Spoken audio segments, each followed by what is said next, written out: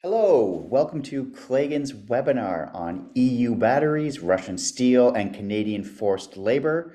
Uh, my name is Tim Holt. I'm the operations manager at Claigan. I've been with the company for over 10 years now and working in sort of the conflict mineral space and the corporate social responsibility space that entire time. So without any more wait, let's get down to it. We have a fairly packed agenda today, so lots to go through. Uh, the first thing I want to talk about, we'll spend a few minutes talking about us, about Claigan as a company, and specifically with a view to understanding our role in conflict minerals and the corporate social responsibility space. I just want to sort of set the context for our extensive knowledge and experience in this area so that it sort of helps frame the rest of the presentation. And then we're going to get into the core topics. Now, I'll warn you right up front the EU battery section is going to be by far the longest. This is the sort of major topic of conversation today. We are going to, I'm going to go over all of the minerals that are in scope, the go over the various environmental and social categories, and then also importantly, some strategies on how to to to handle this situation, how to address it. There's there's lots of different things we can do. I want to help sort of point you in the right direction so that you're focusing where you can be most effective. Uh, then we'll we'll do a sort of a mineral spotlight, as I call it, and we're going to look at each of the four metals, each of the four minerals in scope, and uh, and sort of spotlight on uh, different places around the world where those minerals are mined, so that we can kind of look at some of the different types of issues that are sort of all part of the conversation of the sort of EU battery regulation. So we, it's this is a good way of sort of just seeing the, the different types of the various ways of looking at all of this. So we'll do all of that, and and and then I'll say that'll end with the strategies as well. Then we'll move on to Russian steel. We'll look quickly at the legislation and impact, and then I'll describe some strategies to you again, sort of for how to deal with that. Uh, and then finally, we're going to round things out looking at Canadian forced labor. Uh, these are the, and we'll look at sort of the requirements and deadlines. Uh, the deadline it may be sooner than you than you're hoping, so it's definitely important that's on your radar. And again, I'll talk about some strategies as well. So how how you can meet those requirements uh, as effectively and as efficiently as possible with hopefully a lot of what's already in place within your company's system. So Claigan's experience, uh, we have been involved in sort of the conflict minerals and corporate social responsibility umbrella uh, for many years. In fact, we go back to before uh, conflict minerals was fully in place. We testified to U.S. Congress when it was uh, Dodd Frank was under consultation. We are mentioned 18 times in the SEC final rule on conflict minerals.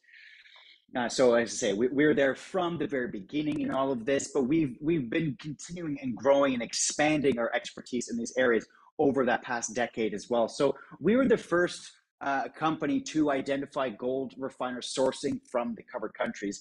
This may not be, uh, uh some of you may not be aware of this, but back in the sort of the 2013 filings, the very first filings that were due, we'd hear all these uh, expressions from companies that were working to saying, well, nobody knows which gold refiners are sourcing from the conflict minerals and that to correct them and say, well, no, we do. We've, we've done the research. We have this information. We've been doing the research ourselves. And every year since then, we do this sort of annual review, this annual update, a full RCOI, reasonable country of origin inquiry, data collection. And this, and this is data collection. It's really, it's research looking at the sourcing of all of the 3TG smelters, tin, tantalum, tungsten, and gold, as well as cobalt and mica processors. And we're also expanding into EU batteries well this year. So th- this is this is a growth and extension of what we've been doing. Claigan was also the ones we I gave a webinar just about two years ago now at the outset of the Russian invasion of Ukraine, where I identified the problems that this is going to uh, this is going to occur in the mineral supply chain. So I, I gave a webinar then talking about it, and some of those exact issues we'll be talking about today when we talk about Russian steel. So Uh, you know, why do I tell you all of this? Because we've been pointing these things out sort of ahead of we've been ahead of the curve on so much of this and we've been pointing this out so that you can be prepared. And our clients that work with us regularly I mean, we do point them out very, even earlier with them because we're having these ongoing conversations with them. And, and as a final point i'll bring up we were the first to identify refiners sourcing from xinjiang which is directly relevant to the, the uyghur forced labor prevention act now, the EU, uh, in, in all their benevolence, they, they've agreed to provide some battery guidelines. Now, to, to, to understand, the first report, the first filing is due August 18th of next year, so about a year and a half away. And, and thankfully, the EU has decided to publish guidelines starting in February of next year, so just just under a year away which uh, you know any of you working in this i, I think you're you can think that uh, six months is the perfect amount of time that you need to have this full guideline in place and you'll have everything you need. Uh, no not really. That's this is not ideal whatsoever. Uh, you want to get ahead of these guidelines. You this six months is clearly not going to be enough time.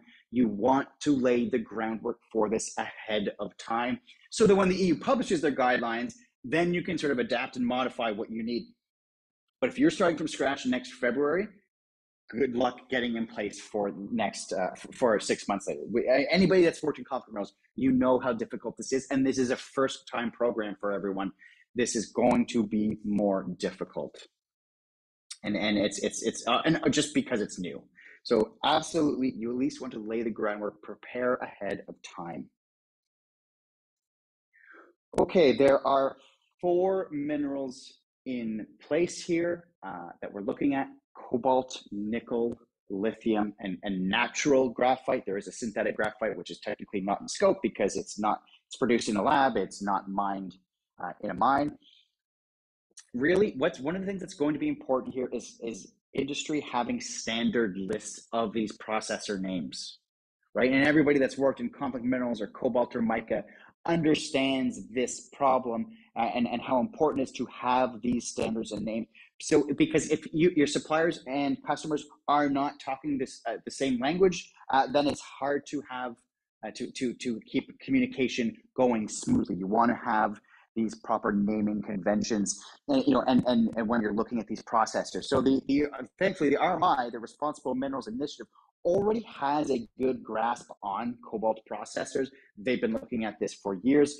Claigan, we've been sort of looking ahead and we've already identified some 400 lithium, nickel, and graphite processors. We're, we're, we've been paying attention to this in preparation. So, certainly, if anybody's looking into this themselves and they want to sort of compare lists or talk to us about that, we've already got a very good understanding of what's out there and, and we can kind of help people narrow their list down. We have a lot of experience in this field. Now, when we're taking these four minerals, it's not as, as narrowly defined as something like Dodd Frank, where it says, okay, we want to look at the sourcing of the of conflict minerals from the DRC and the nine adjoining countries. It's, it's really a that's a fairly limited scope what we're talking about here, it's something completely different. This is on a whole other level. There are there are environmental categories and there are also some social categories that we'll look at in a minute. But these environmental categories, just kind of going through them. So we have, you know, uh, you have to consider air, and then this means including air pollution and greenhouse gases. Now consider the the particulate that gets into the air during mining, or or the pollution that can occur from processors downstream. Uh, these types of things are in scope, and, and we'll look at a few at some clear examples of this in a bit. Uh, water, you see here, pollution, usage, and access. So this really encompasses very different different aspects of water. And, and where this is going to come into play in particular are things like the tailings ponds and other byproducts from the mining process. Uh, those, if they get into the water, they can cause serious damage. Or the release of chemicals during processing as well. Uh, we've seen these types of issues before and, and the, the, the, damage they can do to the to the environment and the use of water as well. Some lithium processing, some forms of lithium processing are very water intensive, and I will speak about that in a few moments. Soil pollution, again, so pollution, erosion, and usage. Now, this is really, I think, tied together with the water. Any kind of breach at a tailings dam or something similar, uh, the, the chemicals can leach into this, the water just as much as they can leach into the soil. Uh, I'll, I'll, recall one example. This is a Canadian example, uh, Mount Polley Mine uh, that occurred back August 4th, 2014. A tailings pond, uh, there's a breach and there's a loss of about 17 million cubic meters of water and 8 million cubic meters of tailings and materials that leached out into the environment that went into the lakes. Absolutely devastating. So, these are the types of risks that you're going to need to keep in mind. And, and, that you'll be reporting on. And then that leads quite naturally into biodiversity, the habitats and wildlife in Florida. You know, if if if the the water and the soil are severely polluted or impacted in some way, that's obviously going to have a knock on effect on the plant life as well as the animal life that live in that area. Uh, now, hazardous substances, again, this is really want to be thinking about considering the waste and the byproducts from mining, but also the harsh chemicals that are sometimes used to process and refine minerals. And then even noise and vibration. I, I, I'm I'm gonna guess that this is probably not near the top of any of your lists for things that you would be thinking about when looking at the processing and mining of minerals. But the EU has included even things like noise and vibration, thinking about how the noise can impact communities as well. And then plant safety. So we've already talked about dangerous chemicals, you know, that can be used in the processing of plants. So plant safety as well. Uh, energy use, uh, energy use. So we have this obvious drive to to ditch oil and use electric cars. This is something that's been growing over the over many many years now. But at the same time, we can't be blind to the fact that these minerals require vast amounts of energy to produce. Right. So the EU wants companies even to be thinking about that as well. And then waste and residues. Again, this is really come down to like the, the tailings ponds and the, the processing byproducts. These are going to be your prime concerns here. So all of these things companies need to be considering about. Now remember, this is only for the cobalt, nickel, graphite, and lithium that are in your battery. So it's not across your entire supply chain. It's only the supply chain of your battery. So in that, from that perspective, it is a limited scope of, of, of the materials uh, in your supply chain that are in scope, but then you've got to look at this much larger group of topics to account for. And then similarly, we have these social risk categories. So occupational health and safety. Again, this is going to come down to things like chemicals produced, uh, but but any kind of accidents that happen in the mine site, and, and that can be an issue with uh, artisanal mining in particular. Uh, the, you know, safety is always a concern there, uh, but it, but it can happen all the way through into the processing as well. And then we got here something like child labor. Now, this is uh, this is an issue that's primarily a concern for the mine sites, for again for artisanal mining. And I will spend some time talking specifically about an example of that today. Similarly, forced labor. Again, this is a, an issue that takes place more at the mines, and, and we will be talking about that. And in fact, this is going to lead into the. This is also going to get called up again at the end of our webinar today because we're going to talk about the Canadian forced labor uh, law as well. Then we have uh, oh, uh, discrimination as well, discrimination against people, trade union freedoms, and, and these are ultimately come down to sort of respect for workers' rights and, and respect for the person. Uh, and then finally, community life, including indigenous peoples. So, you know, it's, it, it's, it's a common issue in, in, in some countries where mining is taking place, especially of the minerals that we're talking about. They do not yet have strong legal protections for people that live on their land. And so, one thing we see time and again is there's a failure to consult local populations. There can be, you know, a, a, about what's happening and about the prospect of them being moved. There's a failure to provide adequate comp- con, uh, compensation, you know, either money or accommodations. Uh, and, and sometimes uh, you have to consider the consequence of the pollution on the communities. And we'll, we'll talk more about this, but when there's widespread pollution caused by mining or processing, that affects community life, and including indigenous people. That affects the people directly. And these are, are have to be considered. Okay, let's get more specifically into the legislation itself. The, the good thing about this, at least I'll say, although this that, that there's a lot of things to consider, the way the EU wrote this law is that it was largely built around the OECD due diligence framework, the, their guideline for conflict minerals. So, and, and if any of you are not familiar with that, that's about uh, where they trace minerals and it's, it's, learning how to trace minerals in the supply chain and identify risks and, and respond to those risks, mitigate those risks. Uh, you know, and, and work, we, we work in this space. Our, our, the work we do, the RCI work we do, you know, is uh, conforms with the OECD due diligence guidance as well. This is so th- that's what that guidance is, and, and thankfully, the EU battery legislation very much follows that process. By the way, you'll see here uh, some of this blue text here I have chapter seven, that, is a link. You know, very much I want you to be, uh, uh to come away hopefully of, of having learned more about these topics and get a, a better appreciation for the types of challenges that are involved.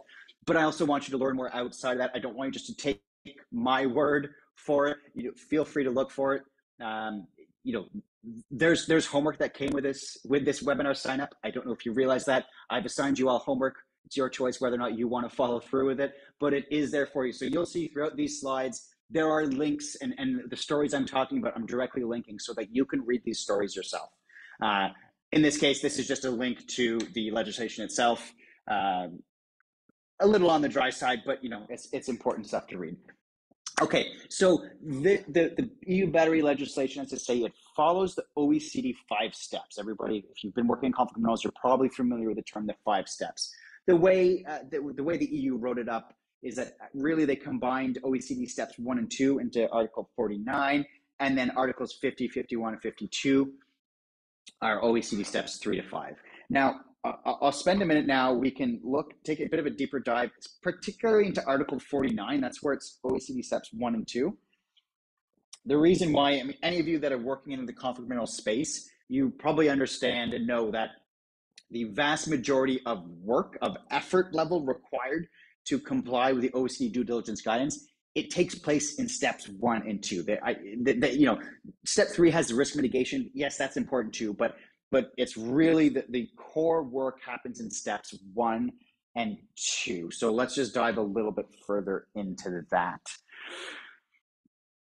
So let's say closely follow steps one and two uh, for the EU battery. So things like that you'd be familiar with policy communication to customers and to suppliers. You're going to need a policy that's in place uh, to handle this. Now, that policy could be uh, it could be an adapted conflict minerals policy that sort of speaks to to all the, the, the minerals in your supply chain, or perhaps you you might want to borrow the same language you have for your conflict minerals policy and and create a separate battery specific one. That that's a possibility too. Uh, and, and and one of the core things I'm going to be sort of talking about today, one the core advice I have is a lot of these things we're talking about there are similar parallels, parallel legislation that you're probably already addressing. So my advice is to take the, the knowledge you have gained already by working on these and apply them, adapt them, modify them as needed, but don't reinvent the wheel here. You, you don't you don't need to do that. Apply what you, have learned to to to do this to handle this more efficiently more effectively. So so yes, in here we have the policy communication the internal team structure, right? We've, we've talked about that, and, and uh, or the, you, you've seen that already in conflict minerals if you're working in that space, this internal team structure. And again, it could very well be that the same people in your organization, and perhaps you're the ones that are that are listening in on this webinar, the same people that are working in that space uh, uh, for conflict minerals are also the ones that are going to, that are going to do this for EU batteries. So you already have the infrastructure in place, and you want to apply. You want it to closely line as much as possible uh, what you're doing for conflict minerals and apply it to EU battery. Now, some other companies they may want to do it differently. They may want need different people to to take over those things. But again, my advice is still take what you know and apply it, adapt it. So so take that infrastructure, all those good things policies, the, the, the, the internal programs you have, apply them to EU battery. Don't, don't start from scratch. You don't need to. Now, they also, in Article 49, part of it, and if you know this from step two the OECD due diligence guidance, it's really about the country of origin. It's tracing the source of your minerals. And the way they phrase it, it's I don't know how realistic it is to be honest, but they they ask for they want to trace the country of origin from mineral extraction all the way to immediate supplier, sort of as if they want and, and everything in between. I don't know how realistic this is. Companies do not like publishing their supplier lists. I just I don't think it's going to happen the way it, it appears to be written. But okay, fair enough. But if you can't publish the entire supply chain mapping, and I, I don't think anybody really wants to do that, then then you still want to make sure that you are providing as much good sourcing data as possible. Okay, so you still need you still you want to be able to address this as well as you can without you know publishing uh, all of your your supply chain mapping. And and and and here's the thing: SEC issuers in you know in the the U.S. have been able to I think get away in some of their filings of of when it comes down to talking about specifically do they source uh, directly from the, the cover countries. There's some language that they've been able to use in there to kind of wiggle around a little bit. I mean that that's that that often happens with legal writing with EU battery, I don't know if they have that same luxury. It's it's it's it's because it's got this larger scope to it. It doesn't. It's it can't be crafted in quite the same way.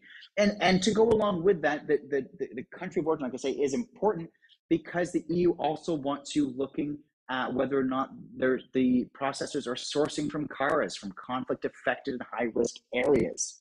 And so you need this full RCOI data, this, this entire sourcing information, in order for you to be able to complete this work. And the data needs to be as you know, specific as possible, as accurate as possible, and up to date. This is this is something that you're to have to do on an annual basis. So, uh, and, and what they say, if processors do not have a third party cert and they source from the CARs, from the conflict affected and high risk areas. So that's not just the covered countries, that's, that's a, on a global scale. Then additional steps are required. They want locations of mines and locations of consolidation of materials and that sort of thing. So they want more and more data. Uh, and they, they want companies reporting on that information.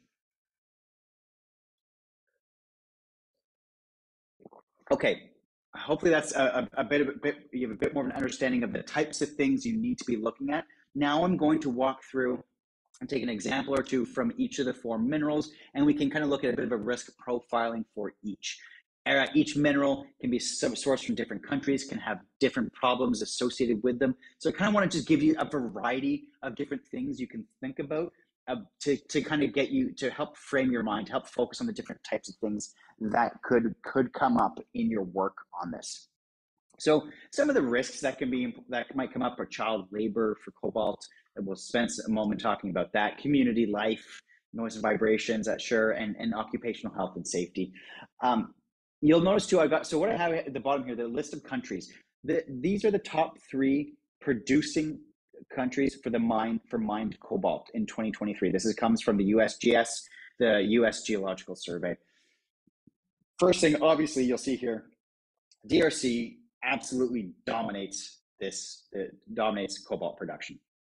74% of, of uh, the world's cobalt comes from the DRC. But what you'll notice too, and I, I did want to leave up, Russia is there in uh, at, in third place at four percent. I'm not going to focus on Russian cobalt, but I do want to just draw your attention to that for all those companies that are looking at Russian material in the supply chain and wanting to get that out of the supply chain.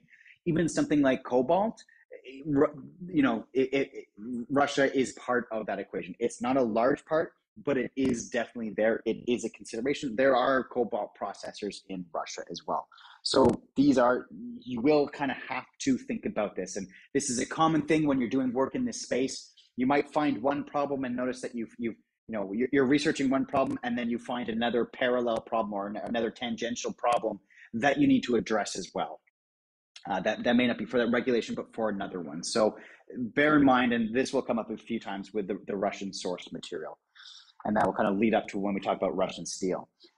One more thing about the drc though and the mining in the the processing or sorry yeah mining in the drc Estimates are that somewhere between 10 and 30% of DRC mining is ASM, that stands for artisanal and small scale mining. So this is mining with sort of very basic tools uh, very little sort of safety and oversight. It, it's a it's a much different uh, much different system than one you might think of as a, from an industrial mine. Very much more rudimentary in process and tools and safety. So somewhere between 10 and 30 percent of DRC cobalt mining is ASM. Think about those numbers for a second. 10% of the DRC's mining still is about 7% of the world's cobalt production. That puts them more or less on par with Indonesia, number two in the world, Indonesia. ASM mining in DRC is equivalent to about the mining in Indonesia. And that's on the lower end of that of that estimate of 10 to 30%. If we take the higher end at 30%, that gets us around 21, 22%. That pretty much puts us uh, in line to match the rest of the world's cobalt production combined. Okay, so this is a staggering amount of cobalt that uh, that the world's cobalt is mined uh, by ASM miners in the DRC, and and and really that's going to come up here. I'm going to spend a few minutes talking about issues that arise from the ASM mining as well as the LSM, the large scale mining.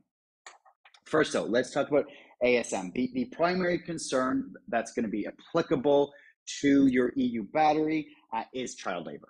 And anybody that's been working in this space probably knew that that's where I was going to go with this. Uh, but it's, it's really, it is worth talking about. Now, child labor at a, at a cobalt mine in the DRC, this, this occurs. The reason why this occurs is when parents don't make enough money to feed their family or they can't pay for schooling and so they can't leave their kids at home alone the parents bring them to work. And they don't, parents don't send their kids or say bring their kids to the mines of greed. This is absolutely has nothing to do with greed. This is done out of necessity. This is done for for self preservation of uh, preservation of life, and and that this is the unfortunate truth about child labor in, in cobalt mines. And and here's the you know here's the thing by simply removing the child children from the mines, that does not mean the, the actual problem, the root cause, has gone away.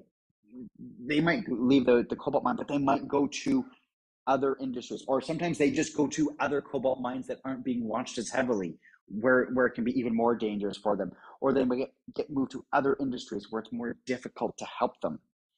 Uh, the focus of some NGOs, and I'll highlight uh, the NGO Impact and their program Her Security, this has been to boost the, the idea behind them is to boost the economic power of parents, especially the mothers, so they can afford to feed their kids independently and keep their kids in school, right? So if, if the parents can do that and, and, and survive and, and take care of their kids, they don't want them in the mines. They'd much rather they be well fed and going to school. And, and, and, and what, what loving parent wouldn't want that for their children? So this is this is why attention on the root cause of child labor, and this will come up again. We'll talk about uh, Canadian forced labor at the end, and I will sort of touch upon this at the end. But really, we should be thinking about the the knock on effects of removing a child from a cobalt mine when the only reason they're there is out of desperation, right? And and don't get me wrong, this is by no means a defense of child labor. But simply removing the child does not address the root cause of child labor. So yes, we want to remove the children from the mines, but the root cause is the parent's financial security. And so these are the types of issues. And really, this is the, the an example of the thoughtfulness that is required to properly address the challenges that you're going to have to, to face to file these, this EU battery report. These are the types of things we should be thinking about. And and you know, banning cobalt from the DRC, that absolutely is not going to, to work. That's going to make the situation for the miners worse. And let's be honest, on a practical level, it would be difficult, if not impossible, actually trying to cut out DRC cobalt from the supply chain. They they produce three quarters of the world's cobalt. So I, absolutely, that is not the approach anybody should be taking. The goal here is to make money more sustainable uh, and just not exploitative. Then on the other hand, we got large scale mining. So this is somewhere between what do we say about 70 to 90 percent of DRC's cobalt mining is large scale mining.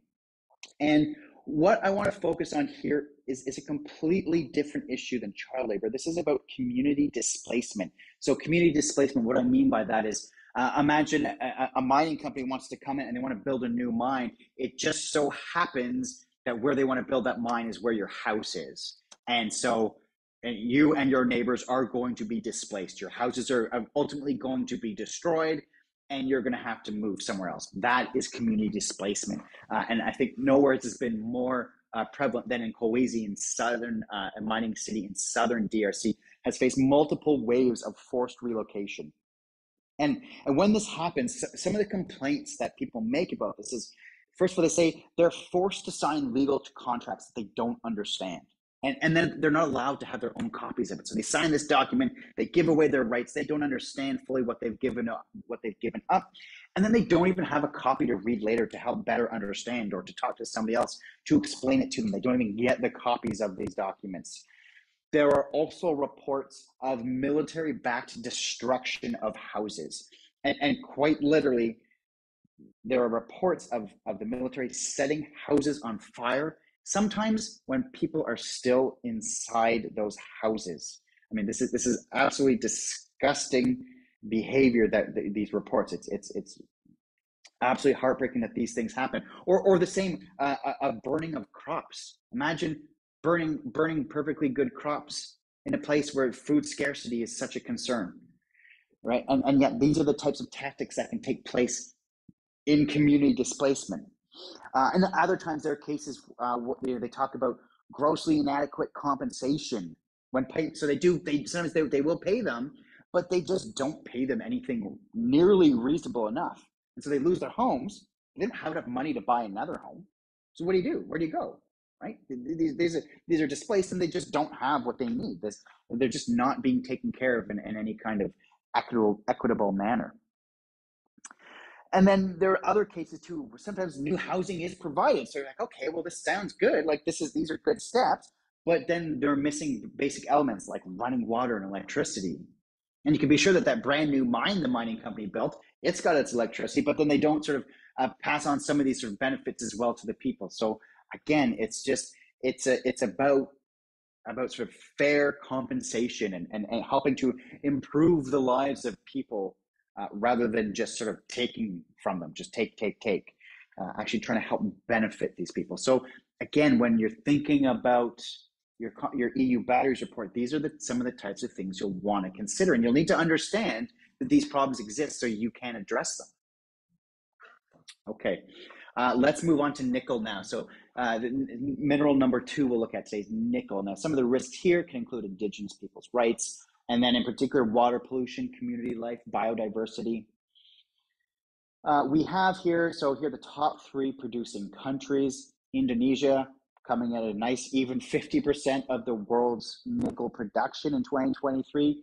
Uh, Philippines at 11%, and look who it is again in number three, Russia. So again, I'm not going to talk uh, talk much about Russian nickel, but they they may not be dominant in the nickel space, but they are still a player. They they still have to be considered. A side note: the UK is the only country to have placed sanctions on Russian nickel at this time. Uh, the US has placed sanctions on Russian Nornickel. Uh, Nornickel, the company, uh, not and they not placed the sanctions on the company itself but on the president, Vladimir Potanin. And so, so while they don't apply to the, the company now, we've all seen over the past two years how, how the West and its allies have been you know, adding more and more sanctions against Russian entities. So it's not to say this couldn't be a problem six months or a year down the road where, where there, there are heavier uh, sanctions going in place beyond just the UK.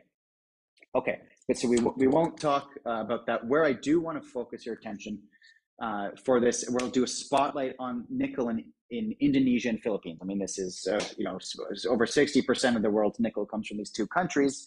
Uh, it's it's worth looking a little deeper here, and, and this time we're going to look at more about a human health and environment concern. So you see, I have satellite images from Google Maps of the Coral Bay Nickel Corporation uh, in the uh, in the Philippines near Rio Tuba. You'll see near the top left that sort of largest ruby colored uh, feature in the landscape there. That is a tailings pond. That's well over a kilometer in diameter. You, you honestly, you need to zoom out pretty far before that tailings pond is no longer visible on Google Maps. It's it's really quite stunning, uh, just just how big it is. And don't get me wrong, I'm not alleging that there are any deficiencies with tailings pond with this particular tailings pond. Um, but when we're talking about evaluating the risks, we need to consider the potential impact on air and water and soil and wildlife and, and human health and that a, a disaster at, at, at, a place like this could have on the local community. What the EU is saying by, by requiring companies to look into this is that responsibility is shared across the supply chain. The nickel may come from here. You you may produce a, a battery, or you, you may produce a, a, a, product that contains a battery. But what the EU is saying is you're not exempt from responsibility if some of those materials were mined in a way that's that's sort of uh, detrimental to the local populations where that nickel mine is located. That's really what it's about. Now, when it comes to some of these these mines and these these regions in the Indonesian Philippines, there are reports of things like coughs and, and respiratory illnesses and skin lesions and, and loss of food security and destruction of rainforests. I mean, look look on the satellite imagery. Look around that map. That's that's nothing but beautiful rainforest all around it and, and even some of these areas have been uh, and, and, and, these these um, symptoms have been linked to hexavalent chromium. Anyone who's ever seen Erin Brockovich knows all about the effects of, of hexavalent chromium. And this is anybody that works in the restricted material space. This is this is the substance that's at the heart of California Proposition 65. So uh, you know, there, there, some dangerous chemicals can get out there and can impact people. Okay, keep this image in your mind of this very large red tailings pond as we move to the next slide. This is in Pomalaa in Indonesia. And here, uh, this is a picture of a farmer's field flooded with red mud. This is near uh, a mining area that's partially owned by Vale, a company that uh, has been linked to to other floods and spills and that sort of thing. Um, so that's what's happened here. So here, I mean, here's the thing: things can and do go wrong, even when the best intentions are in place, right? So, but these are risks. These are risks that exist in a supply chain, and these are risks that exist in the supply chain of batteries. And these are the types of things companies will have to consider. And and to make matters worse, the you know at the same time that you know you see read these reports about the the environmental impact of it, you also there are also reports about demonstrators quite fairly complaining that these things are happening in, in where they live, and they get and they can sometimes be arrested or attacked when they complain.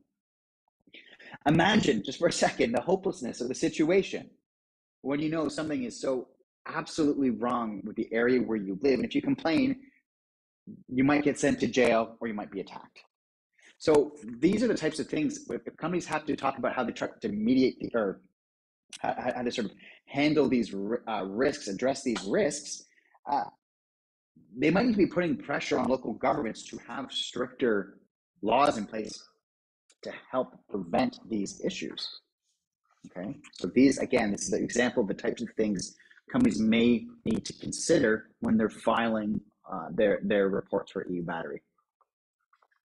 Let's look at lithium next. So some of the, the issues here can have to do with indigenous people's rights or forced labor and the use of water in particular, but pollution as well. I have listed three countries here, which are the top. We have Australia, Chile, and China.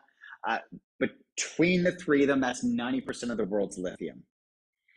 Uh, one thing I'll point out uh, with uh, Chile, and you'll see it in the picture down here, uh, this is just one of many aerial photos, a series by the aerial photographer uh, Tom Hegen. these are absolutely stunning. In that in that link to Chile, there I have the link to Tom's photos. absolutely incredible stuff here. You know, the, the, his pictures are well worth more than a thousand words. Really stunning to see. So you can see the sort of very clear environmental impact of the lithium processing in Chile. Um, one thing that, that comes up from this is, is the vast amounts of water that's needed to produce lithium. The, the, it takes roughly 600,000 liters of water to produce one kilogram of lithium. Uh, when it in, in this particular type of processing 600,000 liters of water to produce one kilogram of lithium and people thought almonds were bad Okay. And more to the point, this occurs in one of the driest places on the planet. Imagine that, that vast amount of water that's used on one of the driest places on the planet. So when companies uh, you know, need to consider water usage and the impact on local populations, this is the type of thing we're talking about here. These details matter. But that's not going to be my main focus for lithium. Notice China currently in third place with 18% where I want to focus is is China uh, are drastically trying to increase their output of lithium, and one of the places where this is happening in China is in Xinjiang. The Xinjiang Non-Ferrous Metals Group uh, broke ground just over a year ago on a new lithium mine in Xinjiang. And and the phase one is that it's going to have production of 75,000 tons a year, but phase two is 600,000 tons of lithium each year. The Xinjiang Non Ferrous Metals Group are known to recruit Uyghurs. So, given the US stance on sourcing and mining of material from Xinjiang, uh, that we should assume forced labor is effectively taking place because it'd be so hard to prove otherwise that we have to assume that, that, that the, the forced labor is taking place, Xinjiang's involvement with lithium will pose a major challenge for companies filing with the EU. And then, of course, this creates other problems for companies importing these batteries into the US under uh, when they have to contend with the Uyghur Forced Labor Prevention Act. Okay, so this is exactly the type of thing that needs to be considered. And and, and Xinjiang non-ferrous metals, they they, they, and, and I have the link to it in there. I'll, I'll warn you, it's it's in Chinese, uh, but you can use any Google Translator similar to translate it for you very quickly, and you can you can read it yourself. Uh, I'll, I'll warn you, it's, it was one of the darker reads that I had when preparing for this webinar. They they are effectively boasting about the re-education of Uyghurs that were transferred under their care. They, they and and here's they present it in a a positive light that they are that they are providing all these benefits to these people but really they are what they're describing is this sort of large scale controlling of their lives and teaching them how to think and what not to think. The, the, the thought that came to mind is this is the type of thing george R. orwell would see and say well that goes just a little bit too far. And yet this is and, and don't just take my word for it. I encourage you to to read it up on it yourselves but in truth, China is such a major player in the battery space, both in the production of, of materials, but then the production of batteries. Any company with a lithium battery is going to have to contend with these risks in their supply chain. These are the things you're going to have to think about. And while the media have called out some companies, especially the auto industry, for making bold claims about everything they will do to prevent child or forced labor in the DRC with cobalt, yet the media calls them out because the same attention is not currently being provided for something like this, for material that can be mined in Xinjiang. And so, really, you know, companies are going to have to expand the area of where they're looking. Okay, rolling along, uh, we're near the end of battery. Some of the EU battery risks. Uh, this has to do with uh, graphite, and this is specifically natural graphite, not synthetic. Uh, the areas here are the risks are with community life and air pollution. The and the countries here now you'll notice China absolutely dominating the scene here with Madagascar and Mozambique coming in second and third, tied for a second, let's say. Uh, this is not because China just has more graphite. Graphite is found all over the world. The reason why China is so dominant in this space is because they produce it more cheaply than everyone else. It's just cheaper to get from China than anywhere else. So they kind of locked up that market. And then when we talk about some of the issues, though, in a moment, I think you'll understand why this is a problem. So, uh, with that in mind, let's look there. Uh, I'm going to refer to an article. This one's a little bit older. It's from the Washington Post, but absolutely uh, an important, important article that really does a fantastic job providing uh, that highlighting the the impact of pollution from graphite mining on uh, on on the villages found in Jixi, China. Um, the way they describe it is that you know, the pollution is so prevalent that the air sparkles. Imagine that the air sparkles because there's just that much dust in the air. And and the way they, they say is they they they it's it's in the air and it coats the village and they find it on their crops when they walk. And, and when they walk through a cornfield they get the dust on their face. They can feel in their face. It gets into their house and they feel it in their mouths and their teeth when they chew. This is how the villagers describe it. They say it pollutes the water leaving a chemical odor that irritates the nose and throat. I mean just just imagine what an impact that's having on this on this these poor villagers and they even the villagers even say you know they they they, they would move if they could but they don't have the means to relocate. When they complain to officials they're told well listen the, the, the graphite company the mining company is just too big. It's just too big so what are we going to do? Uh, so absolutely dire situations there. And and then the, the mining companies and this is the, the response they gave to the journalists here they said the production is strictly operated according to the related law and regulation. Wow i mean maybe there's maybe there's a problem with the laws and regulations then. These are again the types of things companies will have to consider and perhaps the pressures they may need to put on other entities as difficult as it is to put pressure on, on an entity like china um, you know companies will need to use their economic clout to do better. Uh, and, and then there are also sort of harsh chemicals that are used in refining graphite uh, that, that that add to the um, you know there, there are cheap there are less harmful ways but they're they cost more so they don't get used. So i say these are the types of things companies will need to think about. Now okay i apologize. I know this has not been the most uplifting uh, 40 minutes or 50 minutes now of your lives. There's been a lot of heavy stuff we've gone over. And, and I do thank you for listening, but let's at least focus on some of the positive. What are some of the things that we can do about it? How can we prepare? How can you help meet the objectives of the EU battery? Um, one, you you need a full smelter RCOI. You you need something. Uh, you need lots of details. Listen, we get new clients that come to us every year. Sometimes they're coming, they're doing the work themselves, or they're coming from some of those sort of large software providers that are out there and they come to us and, and then they see what we do and when we say RCOI this full RCOI they see what we mean and they're always so blown away with what we're providing how how our work it's thoroughly researched and detailed. We do this work ourselves. We do it on an annual basis and this is the type of information you're going to need if you really want to be able to address these issues. You need country specific data. But but if you're ever wondering and you don't work with us, if there are better solutions out there for RCOI, yeah, give us a call. I promise you, we, we have exceptional data for our RCOI data.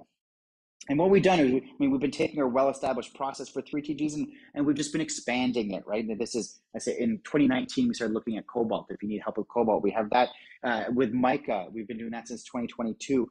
And, and then now we're expanding into nickel, lithium, and graphite. So if you need that that more that next level detail of RCOI, that's sort of the stuff we work on. And so we're always happy to have a conversation. Another important one, I already mentioned this earlier, is build off your existing infrastructure. Apply the knowledge you've gained from Conflict Minerals uh, from the OECD due diligence guidance and apply it. Don't try and reinvent the wheel. You've got lots of good things in place. Modify and adapt to the EU battery law. Don't try and start from scratch. Uh, I say knowledge is power too. You cannot begin to address risks if you don't know about them. So you need to have a full understanding and appreciation of the types of risks that are out there so that you can address them and so that you can report on them to the EU. And then, and then this is, I think, is going to be sort of the most important one here because, you know, some of you may be hearing all this and just being feeling completely intimidated by the burden uh, that's been set forth upon you by the EU my my advice here it's unlikely you're going to be able to do all of this in year one. There there are too many issues. It's just it's it's just too daunting. So my advice to you pick and choose your battles in year one. Focus where you can make the biggest impact and report on that okay? Learn from those successes and expand in the following years okay? Something to build out. Uh, companies that you know that were doing conflict reporting 10 years ago start with a very basic report to the to the SEC, and they've learned and they've grown. Take a similar approach to EU batteries. Uh, and, and this is gonna, going to require communication through the supply chain, working with your suppliers, working with your customers who are asking you information. Uh, you know, there's going to be lots of education and communication that's required, but but focus where you can make the biggest impact in year one. Okay, uh, I know we're we've really been spending a lot of time on EU batteries. Russian steel, I promise we'll get through much faster. Uh, what I'll say up the the up the hop for them the main thing is that the EU and uh, UK have prohibited the importation of Russian steel. Uh, as the law set it out, uh, it shall be prohibited to import directly or indirectly iron and steel products that originate in Russia or have been exported from Russia. And then they list uh, you know a series of custom codes which uh, which handle more or less everything. You know this is this could be sort of steel ingots that are then going to be used to, to process in the EU, EU or UK into something else, or it could be things like like fasteners, screws that are being imported into the EU. They cannot be of Russian origin. Uh, I've listed some of the, the top five countries that produce iron, only to show that really Russia is a fairly small player in the production of iron on a global scale. There are four countries ahead of it. The only reason why I point this out is just to show that you know there are lots of other alternatives out there. It shouldn't be as daunting as you might think trying to re- to remove Russian steel from your supply chain. Uh, there are there are I mean look at Australia nearly 40%. There, there are other sources of steel out there in the world. Well, how are you going to do it? How are you going to prove that your steel is not from Russia. The I think the key to this that really what we do when we look at this is is using uh, mill certs, mill certs for that steel that will identify often sort of the country of manufacture, the melt origin, or, or, or country of production, that sort of thing. Um, this is where you're going to get that information. Now, this is something ideally you're going to want to get ahead of time before it's a problem. And if you want to start looking at this, reach out to us. We can certainly help. But the key thing here is that your product, eh, you know, if, if, if, your products could get held up at the border, and we've talked to companies that have faced this issue, their products get stuck at the border. And I tell you, it's much less stressful. It's much easier to get this information ahead of time than when the products are stopped at the border, are ready to be sold, and can't because they're being held up by this. So these are the types of things that you want to, to, to keep in mind. And this, those mill certs are going to be the real key to, to proving that it's not of Russian origin. So let's talk strategies then. Engage your suppliers early. It's easier to get this information ahead of time. It's possible to do it retroactively, but it's more difficult. It is certainly more difficult, like I said, especially when your products are stuck at a border you're going to need to track those supplier responses. So, and the way we think this is really, it's, it's similar to your supplier RCOI for conflict minerals, where you're collecting CMRTs, kind of picture it in a similar light for collecting these mill certs and, and cataloging them. Uh, it's similar to how we would handle conflict minerals. That's how Claigan looks at this, this uh, addressing this issue. And you also want to be able to account for it that some suppliers may have multiple certs, so you need to be able to account for that as well. Okay, and then the last thing to consider here is that not all certs are created equal. Okay, you may need to educate your suppliers on the required elements for you to demonstrate compliance. So if if your your mill certs don't some don't have that country uh, that country information, you might need to educate your suppliers to require that themselves so that you can get the information you need. So keep that in mind. Okay, that was it for that was it for Russian steel. I promise that's a fast one. Let's talk about Canadian forced labor. This is all based on from Bill S to 11. Uh, what this is, it's really an annual reporting requirement.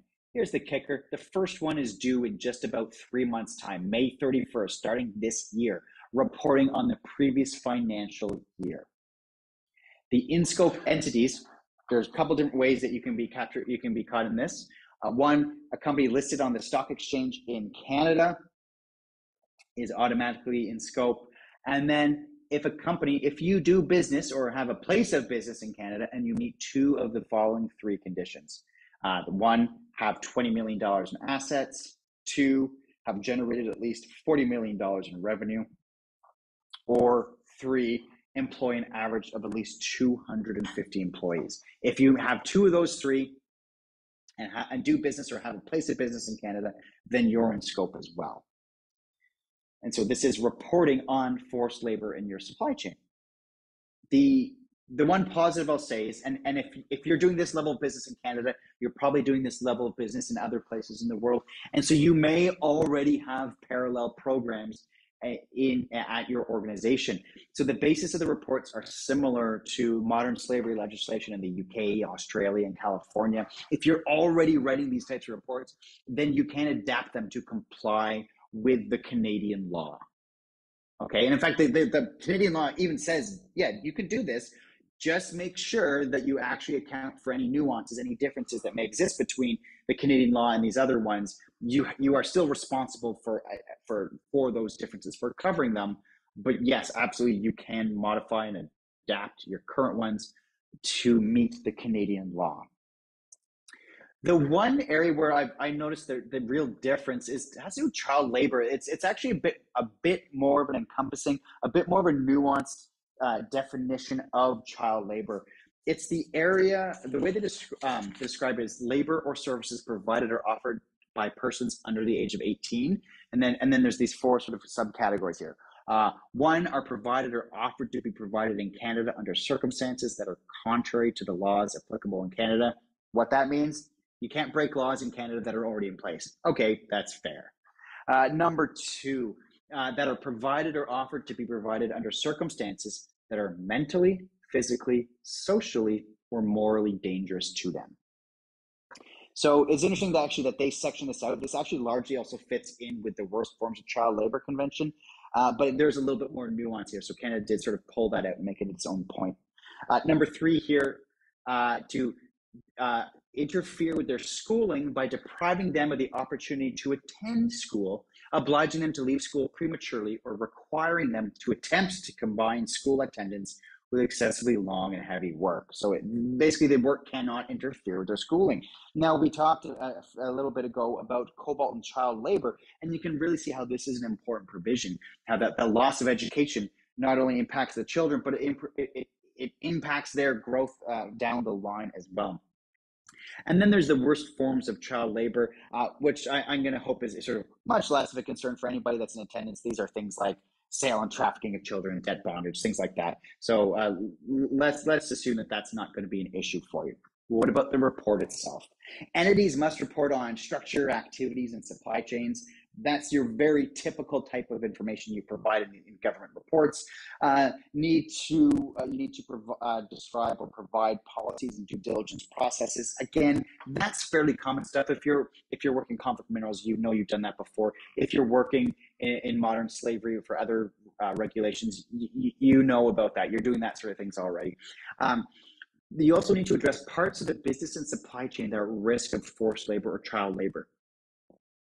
Now, we've we spent plenty of time talking about how uh, your batteries could absolutely be an area where child labor could be a concern. So that would be an area where you need to talk about that.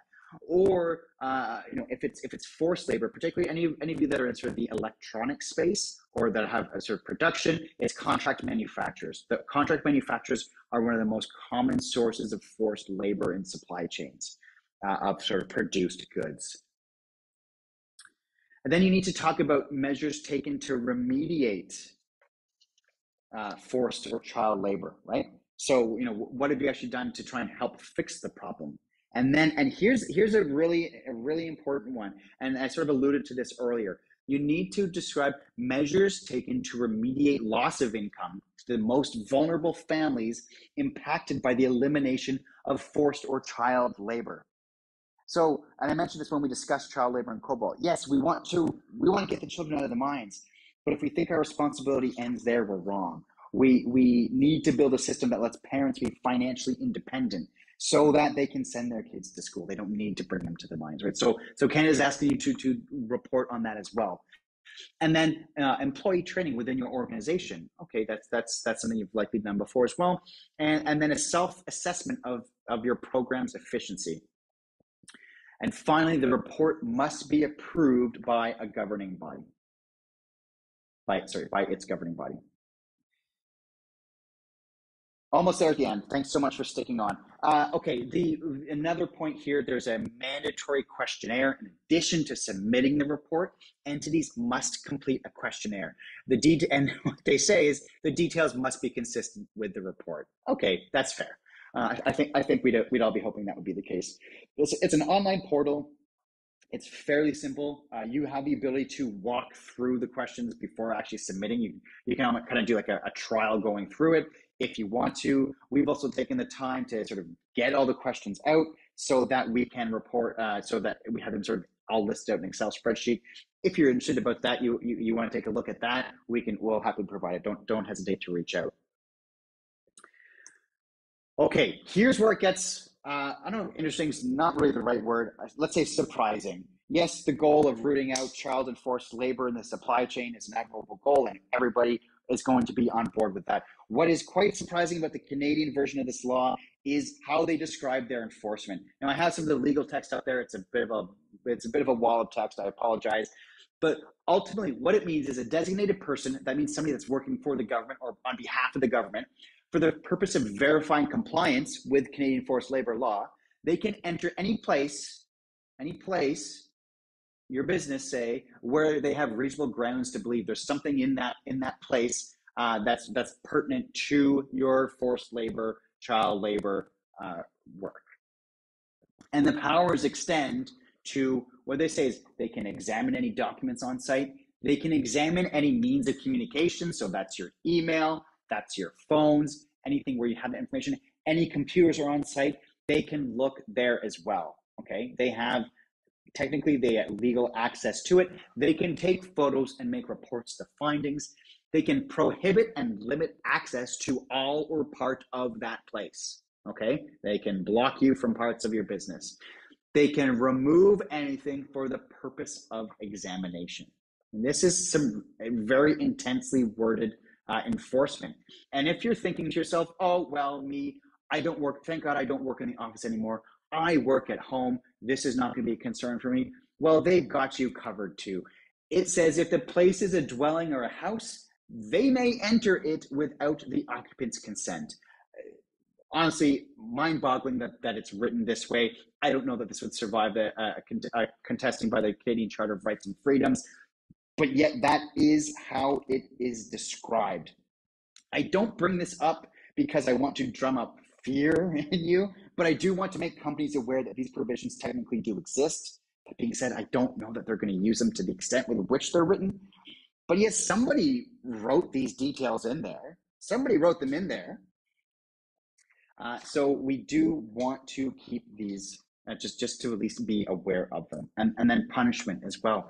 Every person or entity that fails to comply uh, is liable to a fine of not more than two hundred and fifty thousand dollars and every person or entity that knowingly makes or provides false or misleading information is similarly liable to a fine not more than $250,000. And any director, officer, or agent, think of that for that governing body uh, that signed off on things, can separately be held liable. So this has a surprising amount of teeth to it. Whether or not it's used to the extent with which it's written, uh, it remains to be seen, but those details are there. What about strategies? Okay. And thank you so much for sticking on.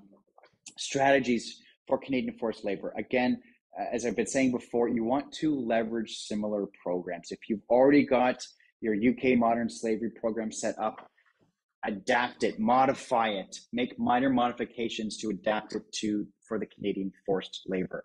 Uh, it's going you're going to get there a lot more efficiently and effectively if that's your plan. If you've already got those systems in place. At the same time, a company without a mature modern slavery program within their organization will need to start as soon as possible. I, I, can't stress that enough. There's there's a lot of work to do if you're starting right now. You are you there's a lot of work to do. I recommend you want to reach out. You may need some help if you're starting from scratch. And the last one, don't forget to submit. May 31st is just around the corner. And conveniently, everybody that's working in conflict minerals, you'll recognize that date is also when your SEC filing is due. Uh, Canadians so helpfully and uh, thankfully made it due the exact same day. Don't forget to submit. And finally, that questionnaire as well. It's a mandatory component. Okay, thanks so much for everybody. Let's uh, let's see. We still have a few people sticking around. Uh, let's see if we have any questions that we can address. Uh,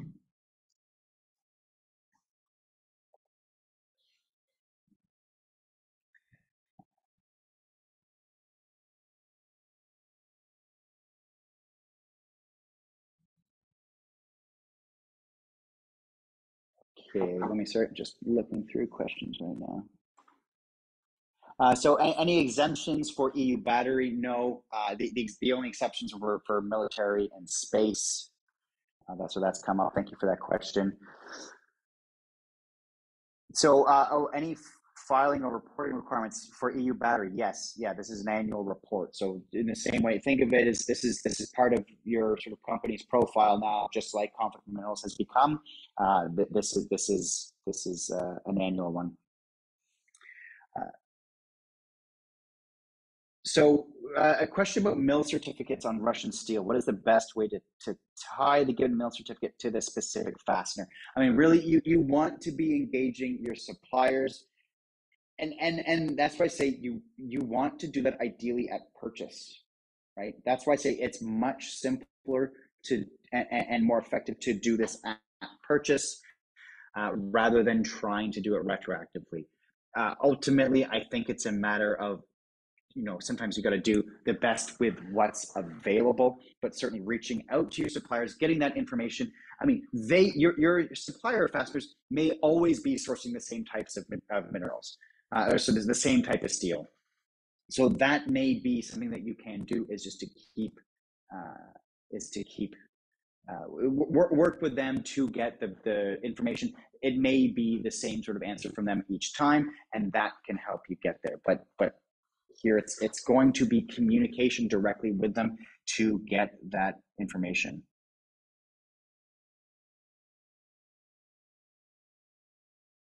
Okay, everybody, I, I, have taken up more of your time than I think you may have expected. Thank you so much for all sticking around. Uh, pleasure to host you today. I hope you've learned something. Uh, there, there will be, as I said, an email going out with a PDF where there will be all those links I talked about are going to be available there. And so I, I encourage you to learn more if you have interest in this space, uh, and, and there, there'll be more coming. Okay, thanks so much, everyone. Take care now.